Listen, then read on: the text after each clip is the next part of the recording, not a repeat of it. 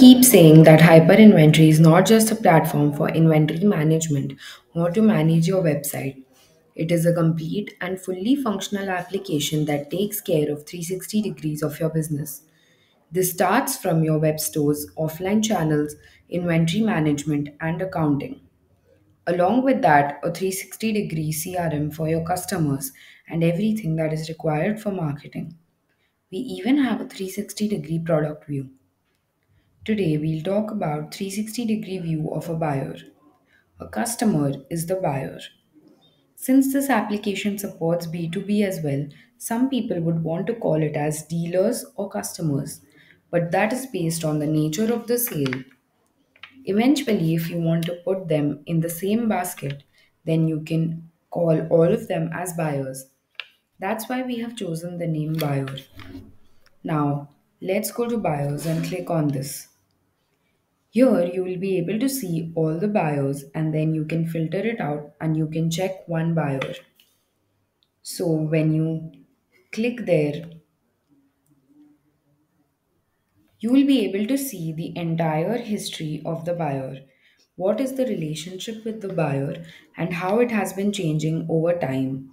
And based on this information, you can make decisions regarding your buyer. Since we also have WhatsApp support for marketing, this buyer would also be visible there. And when your support team is talking with your buyer, they will always have context and your relationship history as well. In marketing, you'll also be able to see how to connect with the buyer, like if someone has never purchased or how many times they have purchased a particular product.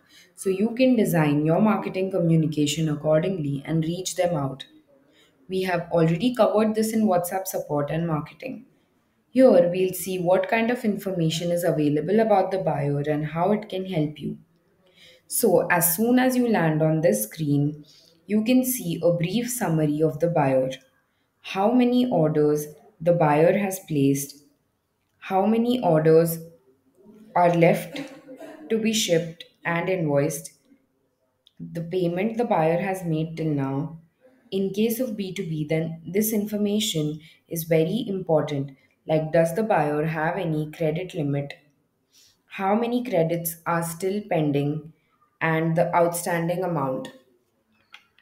For B2B, we have automated recurring campaigns, and this information will be used there to remind if the outstanding amount is due more than the credit that was allowed to them, or if the credit limit is almost consumed. So you can always take care of your daily receivables. So here you can see all the basic information about the buyer on the screen who it is, the contact number, the billing addresses, then the shipping address, and also the contact person. If the buyer is a B2B and has multiple branches, then you can add more addresses. Now go to invoice. You can check all the invoices that were made for that buyer. You can also go to sales order and check all the orders placed by the buyer. And you can also check the shipment status, amount, and everything.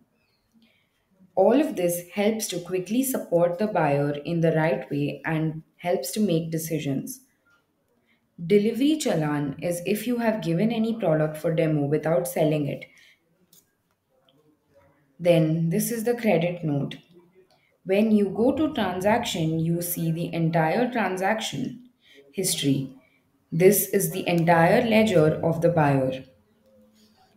Now, this is something which is very important for every business. The extension for this is business intelligence and reports. How this information is used to help you make the right decision. But since we are talking about the buyers and where you can access this information, this video supplies this much information only. Thank you.